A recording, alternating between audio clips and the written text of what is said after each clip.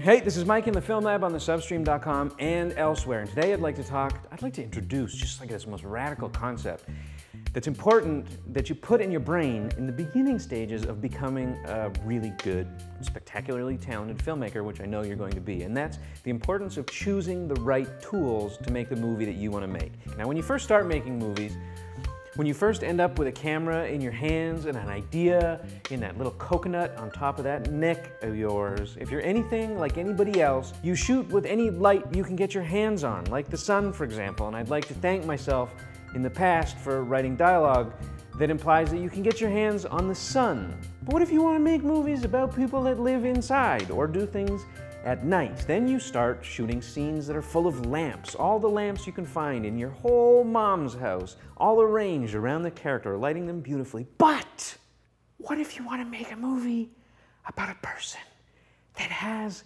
no lamps?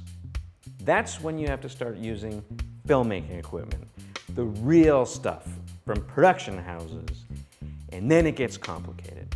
The cheapest, most common filmmaking lights are tungsten lights. It's technology that's been around for, well, like 700 years. When did they invent tungsten? 700 years? 800 years? I think dinosaurs invented them, actually. They use a whole crapload of electricity, a lot of electricity, to get this little chunk of tungsten, which is an element, really hot. It then emits a bunch of light, which comes out about 3,200 degrees Kelvin.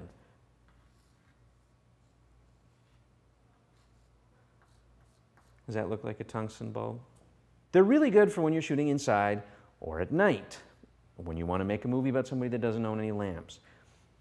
But what if you want to shoot something more complicated? What if you want to shoot inside a saloon during the day, like they do in Cowboys and Aliens? You got the sun outside your saloon and it's streaming in through the windows, right? Okay, the sun is really convenient. It's just up there. You don't have to pay any grips to set it up. It's right there and it shoots out this really bright light that's about 5,600 degrees Kelvin, which is weirdly enough kind of bluish. So you tell your camera that you're shooting daylight.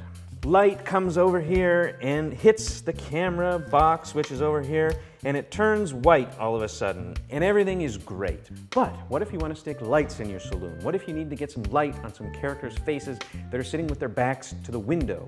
Well, you get your tungsten lights and you hoist them up in there and you shine them on everybody and they shoot their orange photons straight at your camera.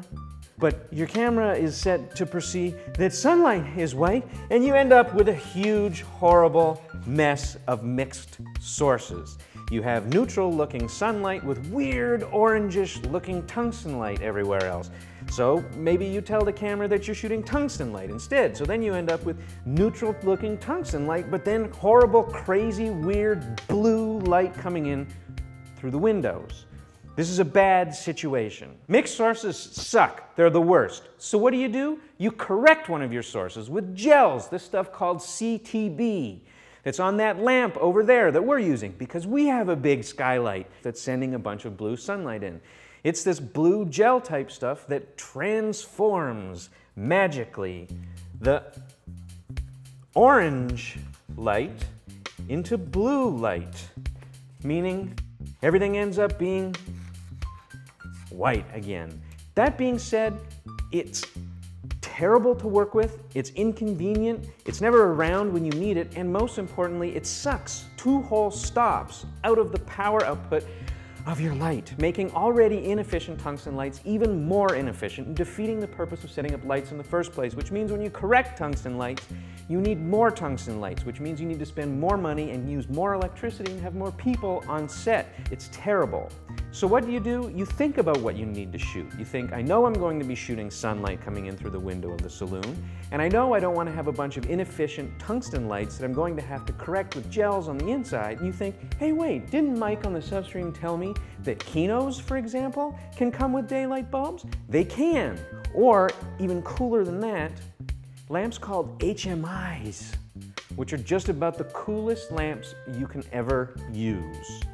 We're going to be looking at those next week in the gear guide, so check back then.